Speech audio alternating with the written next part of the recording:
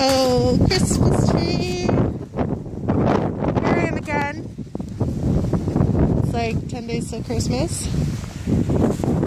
And